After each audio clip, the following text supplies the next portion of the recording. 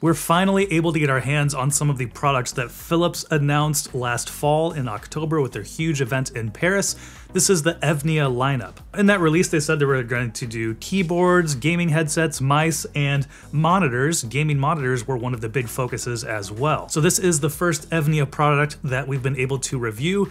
This is the 34 M2C 7600 MV. So like most monitors, a massive name. What that comes down to, it's a 34 inch, 21 by 9 aspect ratio, 1500R curved mini LED panel. So the resolution is 3440 by 1440 at 165 Hertz refresh rate with a ridiculous peak brightness of 1400 nits.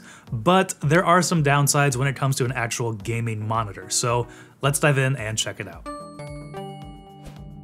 And like we said, this is the first Evnia product that we've been able to review. Hopefully we'll get some other ones in the future. There's a model that is very similar to this, but is a QD OLED that I would love to compare directly to this to see which one would be the better choice. So make sure you hit that subscribe button so you don't miss that video, as well as our other tech and gaming related content. So in case you missed it, I'll put a link up here in the corner if you want to check it out, but Philips actually invited us out to an event in Paris, France to showcase their new announcement and launch of the Evnia line. With a focus on design, inclusion, and quality products, it's set to be a comprehensive lineup of peripherals that will fit just as well in the design studio as a gaming battle station. So first off, let's take a look at this monitor and we'll run through the spec sheet so you can see everything that we're working with here. Like we said, this is the 34 inch, 21 by 9 aspect ratio, 1500R curved mini LED panel. It's using HDMI 2.1, DisplayPort 1.4, or USB-C. It has WQHD resolution, which is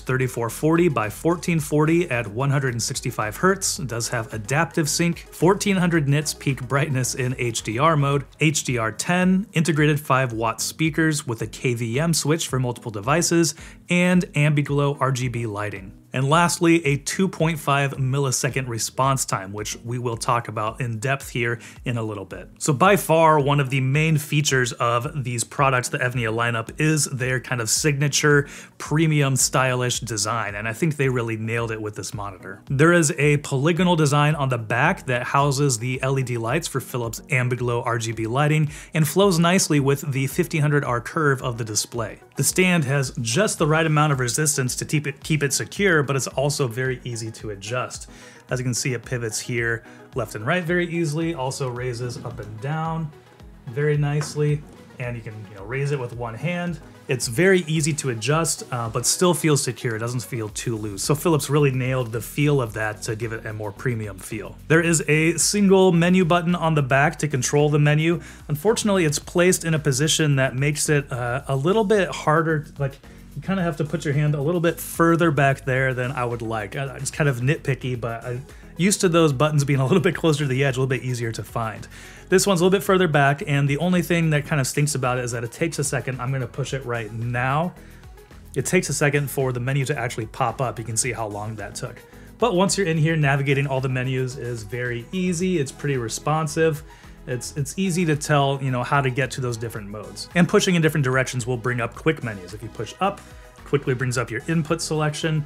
If you push to the left, quickly brings up your smart image selection. And then if you push down, or to the right, it will bring up these more in-depth windows that take just a little bit longer to pop up. And we'll touch briefly on the Ambiglow lighting on the back. You know, take it or leave it. This is something that I really enjoyed on some older Philips TVs. On the gaming side of things, um, I don't know that I appreciate it as much as I did on the movie watching on those older ones. Even on the Philips Momentum 55 that we have, you can't really see it, but it's sitting over there, kind of at that, have that set up for consoles.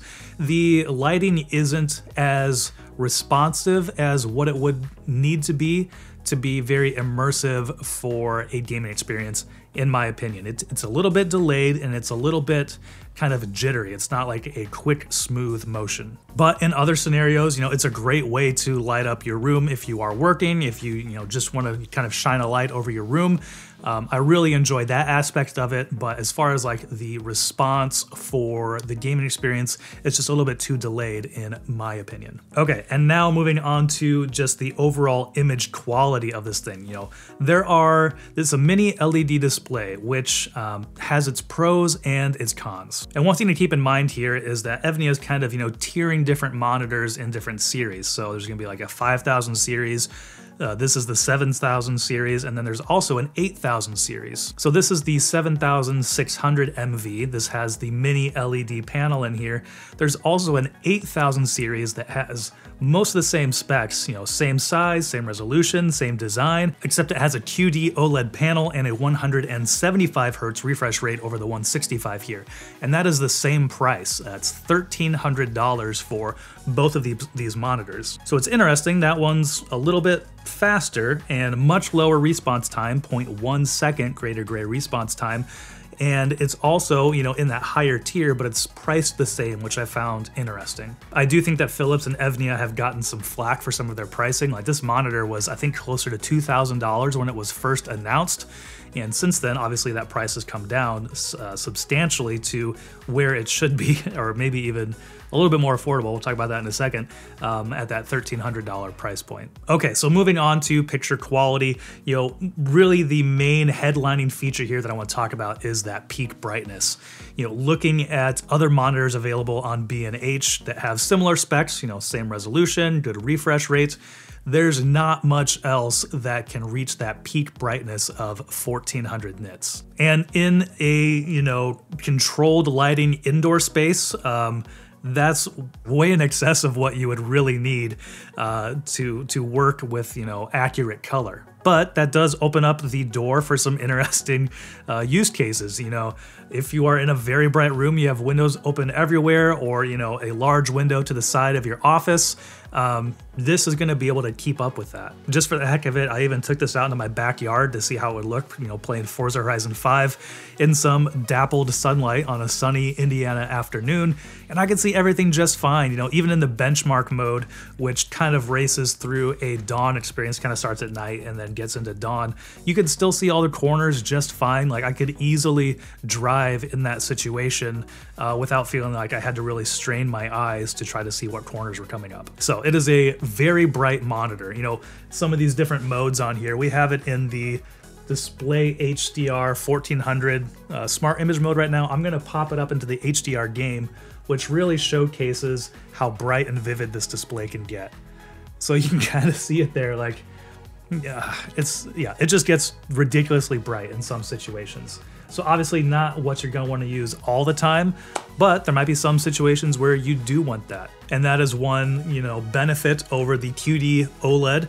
That one tops out, I think, 1000 nits peak brightness, which is still probably plenty for most people in most situations. But if you need a super bright display, this might want to be your pick. And that brightness matched with, you know, local dimming from this mini LED panel actually makes for a really good looking HDR image. If you are just watching content or playing some HDR games. Some titles really take good advantage of that. We'll talk about Forza Horizon 5 here in a second.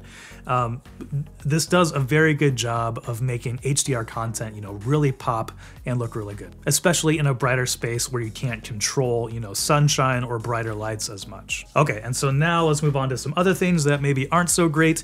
We mentioned in the spec list that uh, 2.5 millisecond gray-to-gray response time, which you know, on paper doesn't seem like very much, and um, I didn't think it would make that big of a difference but that's pretty noticeable on this display. So from what I can tell, you know, usually that's a good, that's a big indicator of smearing and ghosting, which is where there's just kind of like a trail that's left over as something is moving across your display. So I didn't necessarily notice this a whole lot playing Battlefield 2042 and Forza Horizon 5. You know, there wasn't necessarily anything that really caught my eye, but where I did notice it was just moving things around on my desktop, like my Steam library.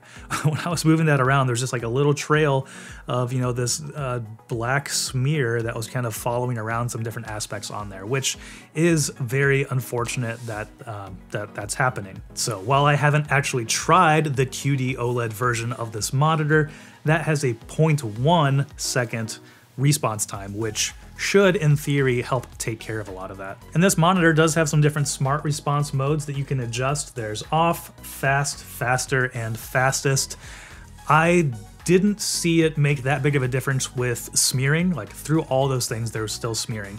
It did help with ghosting on some other images, you know, doing the UFO test and seeing how clear that image looked. When smart response is turned off, there is, you know, quite a bit of ghosting. It's there's just it kind of looks like motion blur across the monitor. But if you do crank this all the way up to fastest, that does help take care of a lot of that. But on kind of the darker images, you can still see some smearing on there.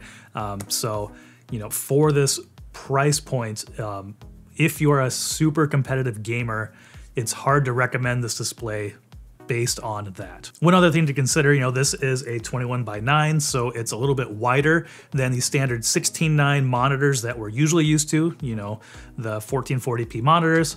And you know, if you are upgrading from something that's 1440p, go into this, it's a little bit more resolution, so you will see a little bit of an FPS loss. That might not be that big of an issue to everybody, um, but is something to consider if you are thinking about upgrading to a wider monitor. For me, it equated to about a 17 FPS drop when I was playing Forza Horizon 5, which, you know, it was still well in excess of over 100 FPS with, you know, pretty much everything maxed out on the 4070 Ti that I have in this uh, NZXT Player 3 build, but that's something to keep in mind if you have a graphics card that's already, you know, a little bit strained at what kind of resolutions you're pushing. And on Battlefield 2042 is about a 20 FPS drop. You know, usually I was getting around 130, 135. You can watch our comparison video up here between a few different builds with the 4070 Ti if you want to see more uh, actual specs in there and what kind of, you know, frame rates I was getting. Um, but this was dropping it down to a little bit over 100 FPS. Now, that being said, playing in HDR on a wide monitor like this makes Forza Horizon 5 look incredible. Forza Horizon 5, I do feel like really takes advantage of what HDR displays can do.